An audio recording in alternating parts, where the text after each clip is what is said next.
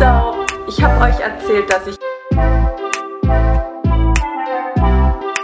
Hello and welcome back to my channel. If you're new here, my name is Inga.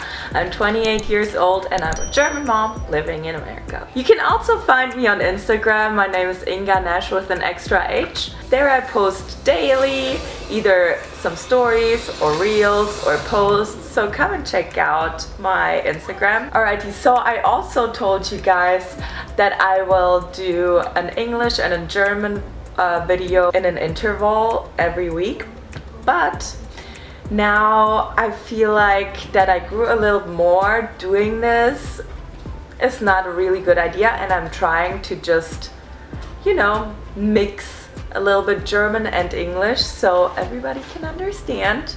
And now I'll just explain real quick in German. So Ich habe euch erzählt, dass ich jede Woche abwechselnd ein deutsches und ein englisches Video rausbringen möchte. Jetzt, wo ich größer geworden bin, finde ich es nicht mehr so eine gute Idee ähm, und ich würde gerne einfach Videos machen, wo ich beide Sprachen spreche und ich hoffe, das gefällt euch und wenn ihr trotzdem irgendwelche Fragen habt, lasst es mich in den Kommentaren wissen. Sorry my battery just died so I had to charge it for a little bit so I can finish this video. Yeah, so this week's video is going to be about a one-year-old essentials I think you need when you have a toddler or a one-year-old uh, two years old because I mean I can't talk about anything else since Sophia is not that old yet. But I'm just gonna jump right in. So, first thing I think everybody should get is the IKEA high chair. I'll blend it in right here. What I think is good about the IKEA chair is it's easy to clean up, it's not taking up a lot of room, and you can reuse it if you ever have another child or just, you know, give it away because it's, I think, $15 or something. So it's not really expensive. It looks nice and yeah, I think it's like number one essential. Then I think you also should get one of those munchkin cups. Also gonna blend it in here. Also, everything I'm mentioning in this video is also going to be linked down below if you're interested to check it out. so the munchkin cup is really good because it's one of the only ones really that's not really spilling much and I don't really want to get Sophia like a bottle with a straw because she also started to drink out of a regular cup now. So yeah I think it's a really good investment it's really inexpensive and it's really good. Third thing on the list is a plasticware so plates plastic plates plastic cups plastic forks knives everything. We bought a set and it's this one and we love it because you have four a set of four of everything so it's awesome. And Sophia's really good already with her fork and her spoon. So yeah it's a really good help. All right.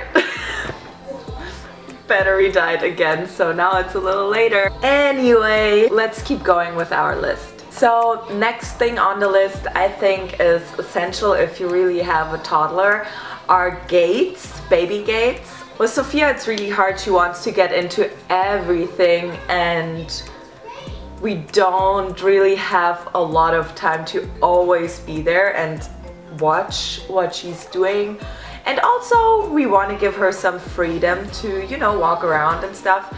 So we only give her access to certain rooms because you know, but also we want to keep our doors open to have an airflow. So gates are a really good thing and also if you have stairs. We live in Florida and we live in a pretty small house because the area that we live in is really expensive. But my dog Heidi came. Wee! Heidi, say hi! Oh, I love you too. And I don't know if you can see, but Sophia is back there. Anyway, so let's keep going.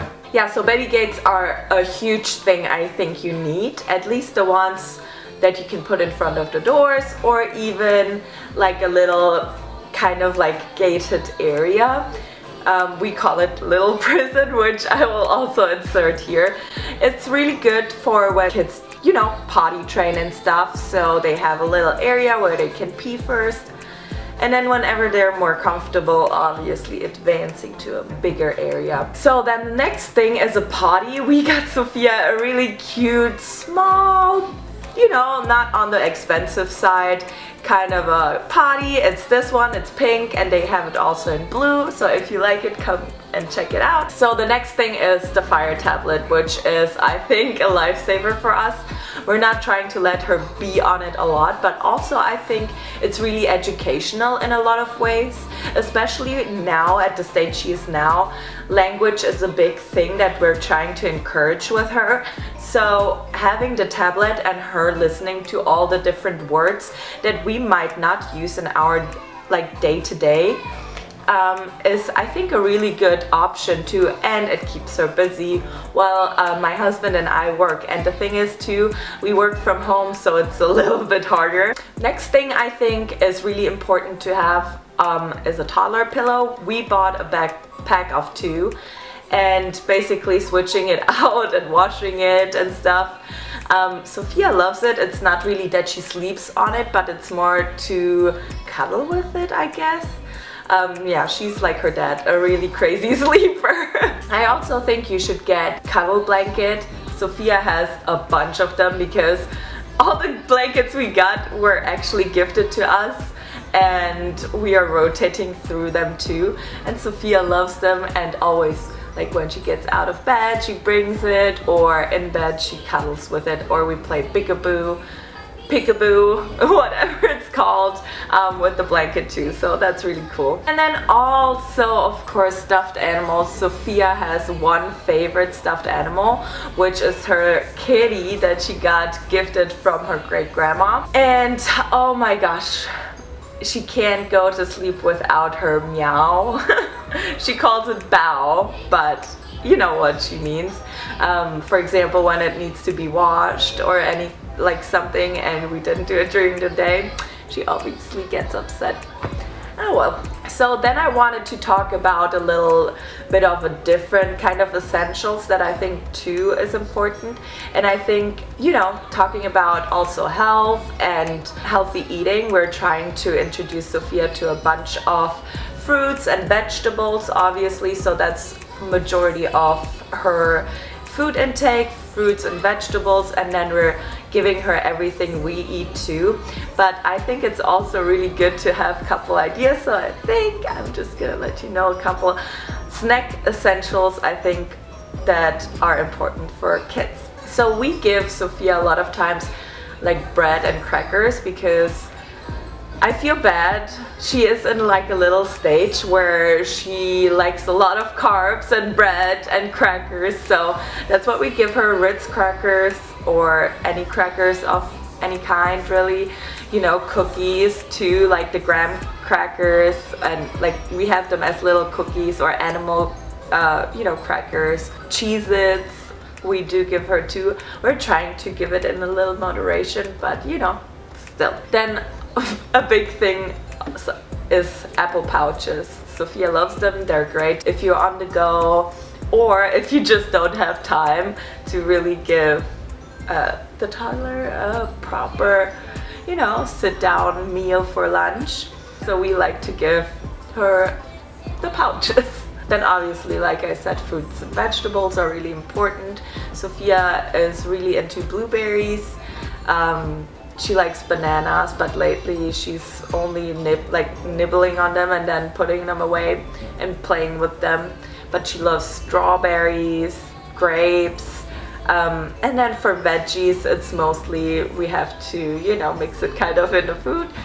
But you know she's a toddler she'll get to it. Oh she actually does love olives. Olives she goes crazy for. Then also cheese sticks. Cheese sticks are so easy and the pull string cheese is the best. Sophia loves it and you know gives her a little bit of snack in between. And then also what we just found out which is really what Sophia loves, veggie stick chips.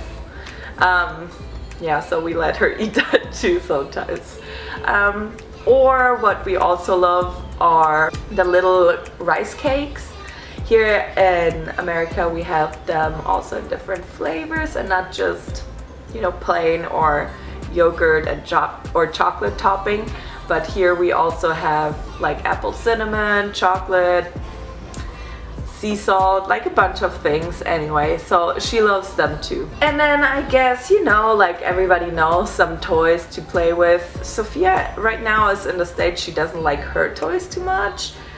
Maybe we should also just get her a couple more advanced toys, but you know, like she, whenever we get her toys, she doesn't really want to play with them. She wants to get into other stuff in the house that she is not supposed to and play with that. So for now, we're like pretty good with not getting her too much toys. And like I said, we have a small house, small area, not much room for a bunch of stuff. Yeah, so that was it for this week. If you have any essentials that I forgot, please let me know in the comments below. And otherwise, I'm gonna say bye. Thank you for watching. Don't forget to hit the subscribe button and the notification bell so you get notified every time there's a new video out. And otherwise, I will see you next week. Bye!